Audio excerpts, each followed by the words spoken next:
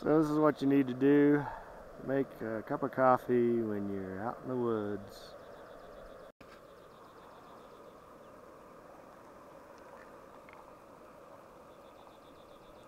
I'll just cut around.